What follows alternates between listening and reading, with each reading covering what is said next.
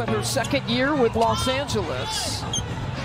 Cross-court pass to Evans. Here's Mabrey's first look. That's a good start.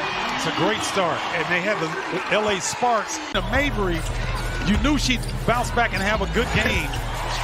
A little lucky right here to start the game. Lexi feeling lucky. There you go.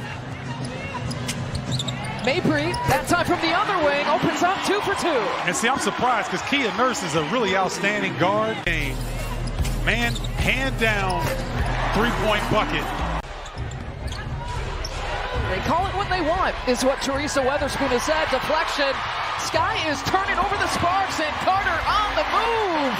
Back-to-back fast break points. Right now, I'd like to see Isabelle Harrison get, a, get her number called. Let her get a touch in the paint, see what she can do. She's setting the screen. Mabrey with a player down, knocks down the three. For the game high, tied with Hamby, who's also got nine. Misses that shot.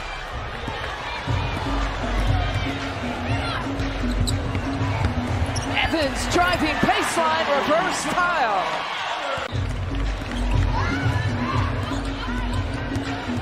Ooh, good screen by Elizabeth. And she gets it right back. Knocks it down. That's why she was open. Not coaching here tonight. He's going into the Mid-American Conference Hall of Fame because of his resume as the Bowling Green head coach. Another three on the way.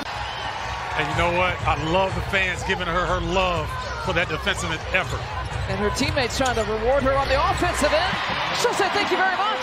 He's in the W so far this, this year. Averaging 20, getting about 13 rebounds. A Mabrey, it's another one. The number one brand in SUV owner loyalty and the official vehicle partner of the Chicago Sky. Out of the timeout, Marina Mabrey is red hot. She's got a new season high. And Mabrey at the line. 0.2 seconds on the clock. And this is the first. It's that first free throw. Now, was she instructed to miss the second one for a quick tip in? She was. And have the reset timeout, continue to communicate with her with what she wants. Mabrey misses. A 79% career free throw shooter. Got to box out Angel Reese.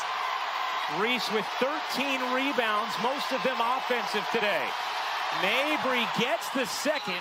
Clark throws it up in the air, and Indiana has its first